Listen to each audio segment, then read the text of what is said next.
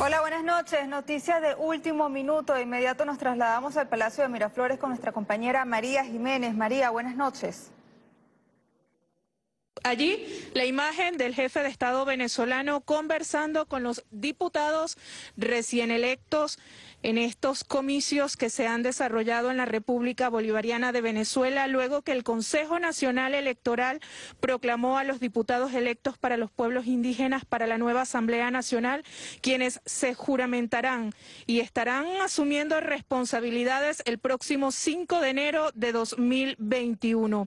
De esta manera se completa la composición de la Asamblea Nacional Venezolana elegida el pasado domingo 6 de diciembre. Los pueblos indígenas de Venezuela en asambleas públicas y de acuerdo a sus costumbres han decidido elegir a tres representantes para el periodo 2021-2026, quienes estarán dentro del Parlamento venezolano.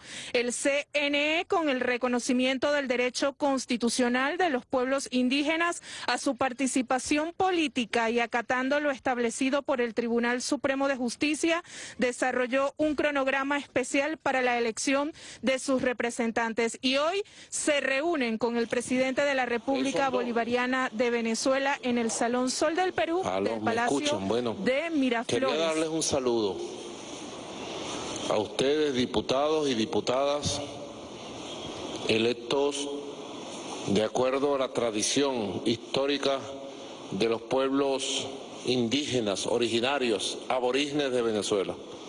Me alegra mucho que venga de los pueblos guarao, del pueblo baré, del pueblo guayú, de los pueblos cariña, de todos los pueblos, que vengan ustedes. Sangre nueva, indestructible, dice la canción, que yo canto y bailo.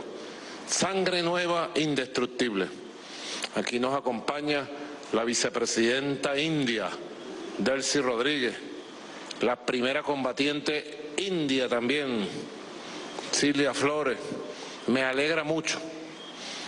Les voy a decir, como les dije, a los 253 diputados y diputadas del Gran Polo Patriótico, electos por el pueblo el 6 de diciembre.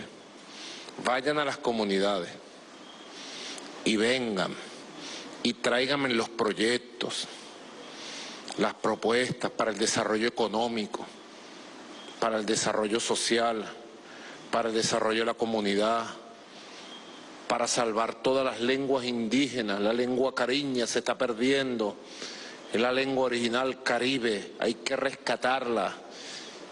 Vayan y vengan, vengan y vayan, estén en la profundidad del pueblo y díganme la verdad lo que hay que hacer para apoyar a los pueblos indígenas.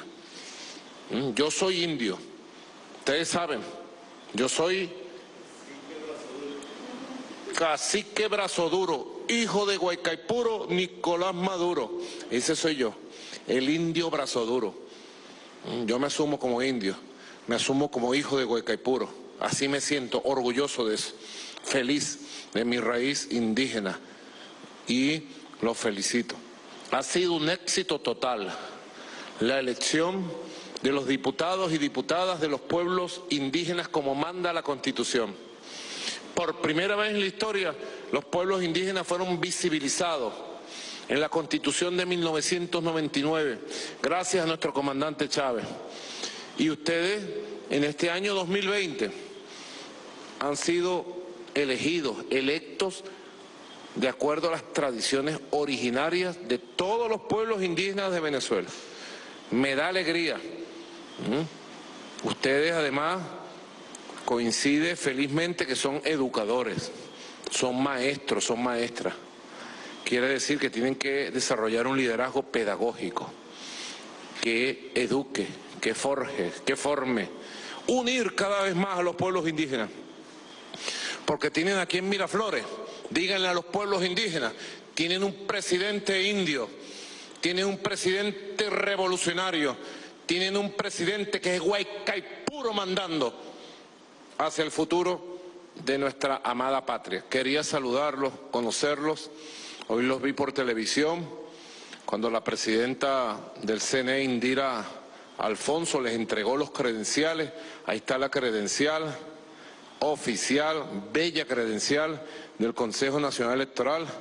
Y bueno, hagamos un trabajo nacional, pero hagamos también un trabajo internacional, pónganlo en su agenda, la articulación de los movimientos indígenas de toda América Latina y el Caribe, la articulación con los movimientos indígenas del mundo, la amistad, la cooperación, la solidaridad, la hermandad, para ir gestando una gran fuerza india también.